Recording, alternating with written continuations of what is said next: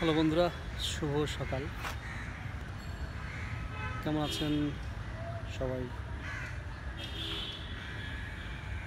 কোন দেশ থেকে দেখছেন আমাকে? জানাবেন, নিচে কমেন্ট করে জানাবেন, যদি সময় থাকে। প্রবাসী ভাই ও আপুদের প্রতি রইল শ্রদ্ধা, দেশের সকল অবহেলিত মানুষের প্রতি রইল শ্রদ্ধা।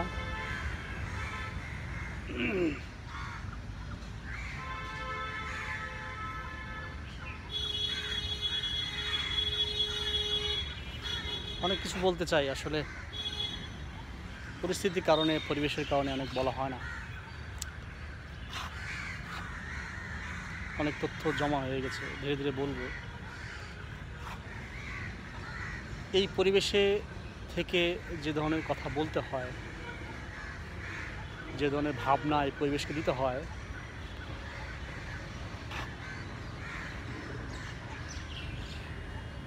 সেটা দেওয়া ছাড়া আর উপায় নেই।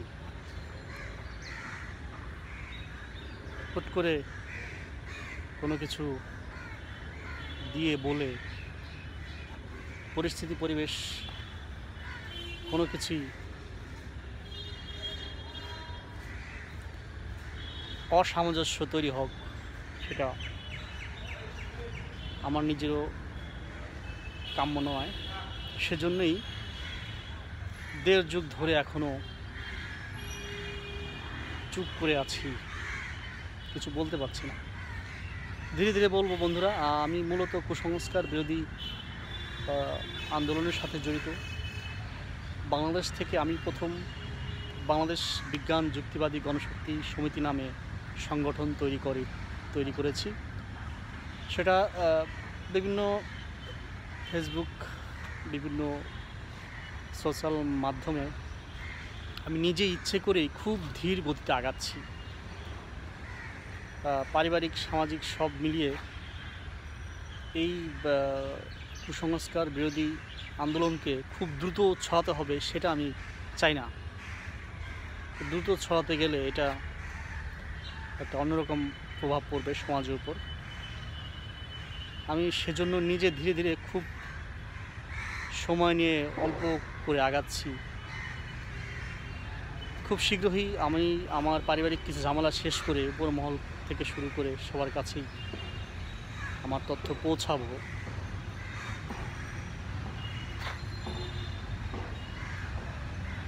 বন্ধুরা, আমি এখন আছি ঢাকা বিশ্ববিদ্যালয়ের চারুকলা বিভাগে। এই জায়গাটা আমার প্রাণের জায়গা।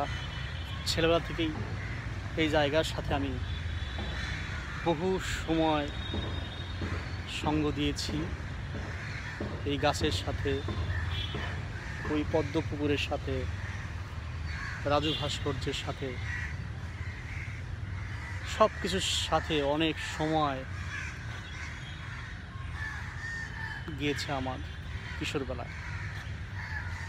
বন্ধুরা, আমাকে যারা মন্দ বলেন তাদের প্রতি রইল শ্রদ্ধা। যেহেতু মন্দ বলেন, সেহেতু হয়তো আমার সম্পর্কে জানা নেই, সেজন্যই এত মন্দ বলেন। জানলে হয়তো, বাস্তব জীবনের পরিচয় থাকলে হয়তো মন্দ বলতেন না। বন্ধুরা, আপনারা যদি দেশের মধ্যে হন, তাহলে কোন দেশ থেকে আমাকে দেখলেন? নিচে একটু কমেন্ট করে জানাবেন। সেটা জানালে আমার একটু ভালো হয়। ইউটিউব থেকে আমাকে বেশি সম্মান দেয়।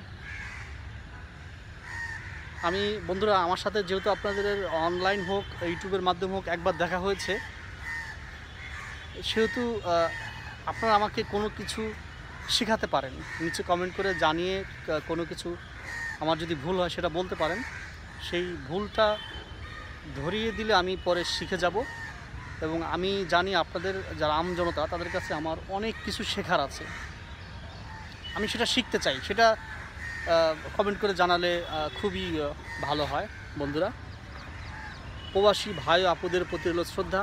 দেশের সকল অবহেলিত মানুষের প্রতি রইল শ্রদ্ধা। ও যারা পোশাক শিল্পে জব করে, যারা কায়িক পরিশ্রম করে, যেসব নারীরা তাদের প্রতি হলো আমার বিশেষ বিশেষ শ্রদ্ধা।